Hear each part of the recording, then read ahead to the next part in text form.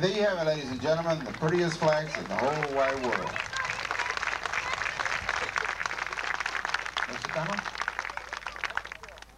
Looks like the good Lord has shined upon South Texas again because of the opening ceremonies. We now can look up and see a beautiful sky.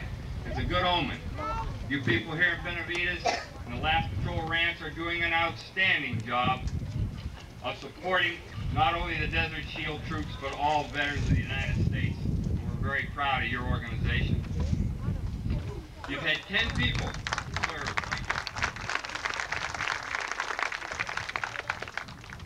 You've had 10 servicemen and women serve from Benavides.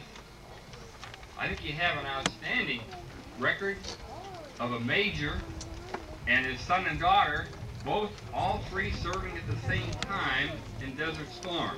I think that's an outstanding accomplishment. I understand all three have made it back. For men and women who served in Operation Desert Storm, with the love of Benavides junior high and high school student councils and the community of Benavides, Texas.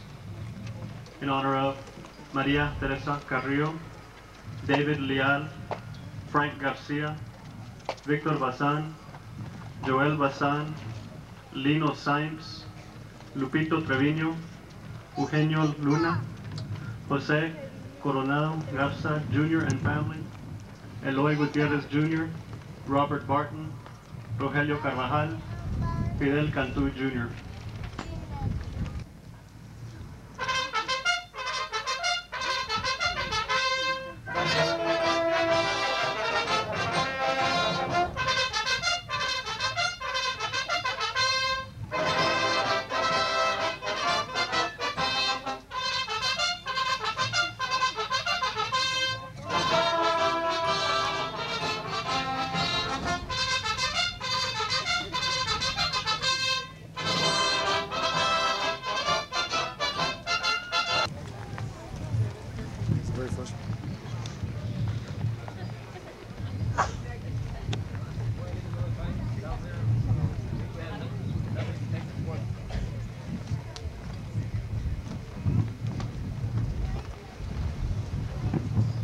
me just say this, and people say, why, why do we go to Vietnam, Korea, or Persian Gulf, or whatever it is?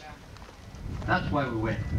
They're right there in front of you. That's why we went, and we will go whenever we're called.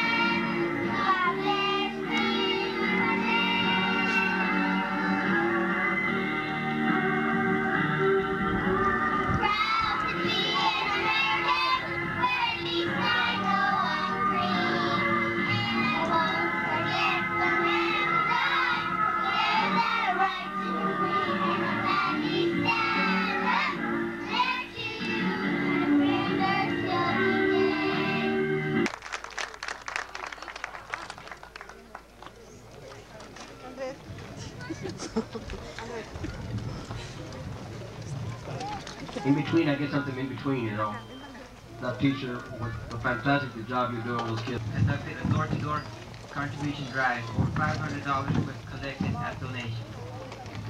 With this money, we, the council, were able to Look at something else that was involved.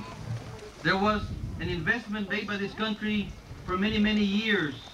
We have been investing in building an army that was not to, not for aggression, but for defense. The United States has been the beacon of light